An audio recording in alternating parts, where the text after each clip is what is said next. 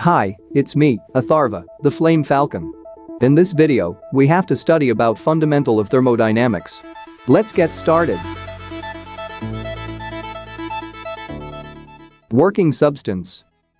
Thermodynamics is the branch of science that deals with relationship between heat and mechanical energy. Heat can be converted into mechanical work, that is, heat engine. Similarly, work can be converted into heat, that is, friction. This relationship between heat and work is governed by laws of thermodynamics. In order to absorb or reject heat and work, some working substance is required. The working substance is essential part of thermodynamic system by means of which we can study heat and mass transfer across system. When a working substance changes from one state to another in the process of transformation, heat and work transfer takes place. Examples of working substance 1. Petrol engine. Working substance is a mixture of air and petrol.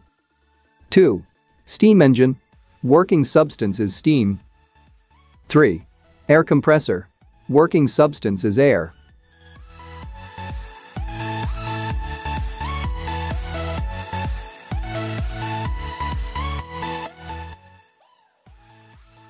Pure substance.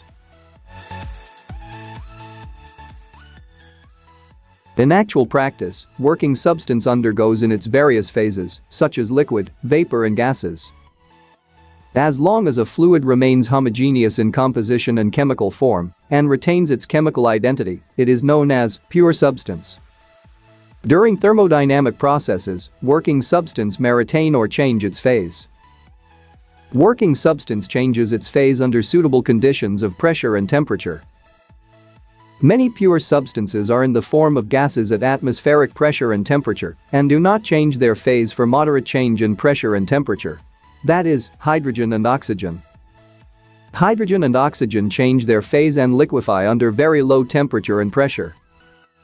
Thus, gases which do not change their phase during a thermodynamic process and obeys gas laws are called as ideal gases.